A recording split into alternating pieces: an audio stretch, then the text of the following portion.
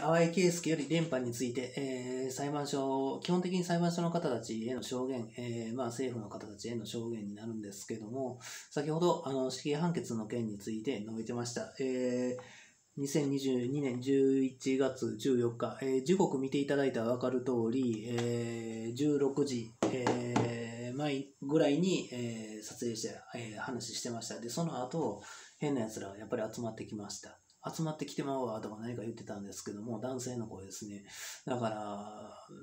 電波の仕組みが変なんですよね。だから警察官とかの落ち度を指摘したら、電波でそいつらに何か聞かせて集まってきむんでしょう。行政が人権無視しためちゃくちゃな行動の設定をプログラムしてるでしょ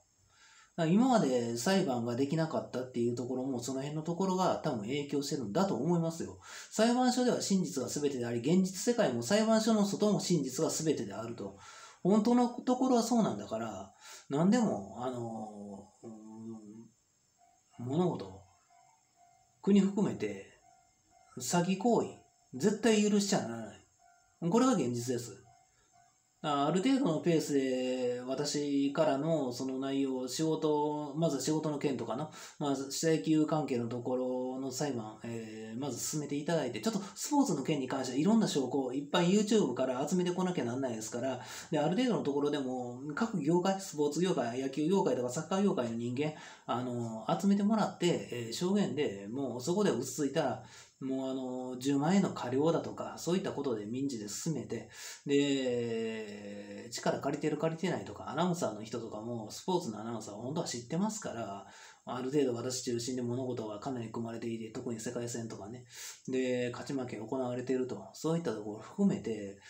こちらもずっとお金支払ってもらってないから、気持ち的になれるときはなれるし、そんな状態で勝てるかって言ったら世界戦そこまで甘くないし、さあもうこちらは、あの、ある程度腹くくって、えー、試合勝ちに行こうとしています。もうそうしないと、スタジアム代金返済できないでしょう。で、まずスタジアムを作るのは私のホームページ、淡井圭介の駅の58番に記載している通り、もう映画館も、あの、スタジアム関係、総合運動公園とかも、ラグビー場とかも、テニスコートとかも、ゴルフ場とかも、もう全部ですよ。ありとあらゆるもの。相撲場も、クレー射撃場も、もう絶対作っちゃならない。もう、老朽化して解体していって、土地開けて農地にする。これぐらいが、あのー、ちょうど良い。で、それはあくまでも老朽化するまで使い切ると。それが一番計算上賢いと。で、私の方は河川水門開閉式ダム発電等を、えー、進めなきゃならない。それには資金がいると。で、どれぐらいのメーカーが、その、仮に私が自分の会社を法人登記簿を作って、話進めようたとしても、誰も今まで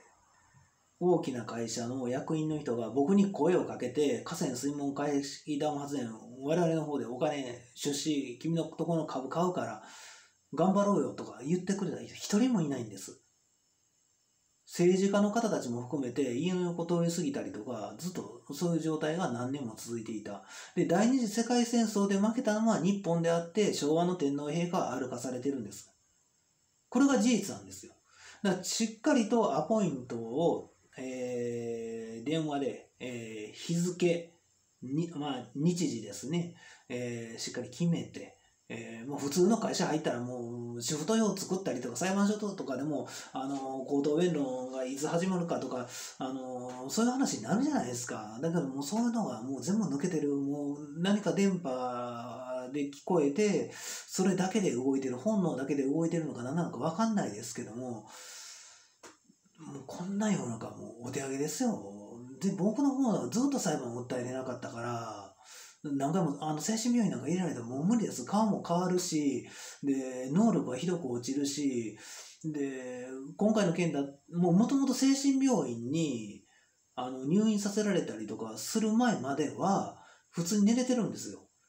で、精神病院と離れてから眠れるようになるんですよ、いつも。もうこれ何回もあの経験してるから分かるんですよ。で、精神病院自体がもう非合法すぎる組織なんですよ、本当に。で、それと警察官が結びついてしまってるでしょ。で、区役所で福祉局と結びついてしまってるでしょ。その辺指摘したら、今度私の方は行政に狙われてしまうみたいな形でコンピューターどうせ稼働してるでしょ。そこももう行政が認めてもらわなきゃなんない。行政が無茶な設定をしていたって。だから東京都で大きな建物を建てちゃならないのに、地震についての、とその、97番の通勤のところの YouTube の内容、あの、しっかり聞いてください。あの、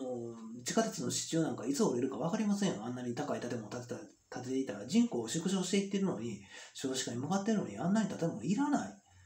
神戸もそうですけども。なぜあんなに建ててるのかさっぱり分かんない、本当に。で、それ本当に追求して物事整理整頓しなかったら、あの国会議員の人たちもそんな地方のことなんか自分の目で確認しなきゃ分かんないから、だから僕も何年か前から録画して YouTube に上げたのはここ近年ですけども、それまでは SD カードとか USB メモリーでいつものルートで高島綾経由やそこに上夏美とか池山明さん混ぜて宛先を。結局そういう方法で、物事を進めていてもなかなか進みづらかったというのが現実ですよね。基本的に僕には社会的地位というか実験がないから一民間人ですからできることは陳情とかそれぐらいですから法的に、まあ、もちろん岸田さんも知り合いとかだから話進みやすい部分はあるんですけどもうん間の公務員の人たちとか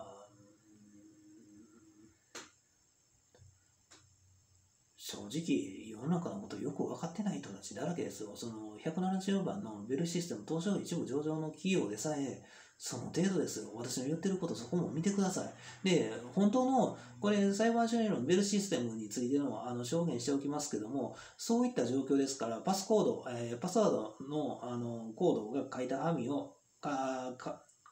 パスワードの、また電波が邪魔してる。言えなくしようとしてパスワードを書いたえー、紙がファイルに貼り付けてあって、これも自分の別のファイルとか持ち込んでるから、うっかり間違えて持って帰ってしまうことありますので、そういうニュースは以前から流れています。で、それを世間に SNS とかで開示しなかったら、あの、政府のはずです。だからそれを理由に解雇なんかできない。だから本当はどういう判断になるかって言ったら、判決上どうなるかっていうと、私は解雇されなくて、だけど実態的に現場に仕事がないと。だから6割ぐらいのお金をずっと半年ほど支払うと。半年の期間の雇用だと聞いています。最初の電話ではね。だけども今のこの IT 社会だと、書類が来ない。雇用期間の定めた内容を記載したものが。だからもう人材派遣業者とその IT とか科学があの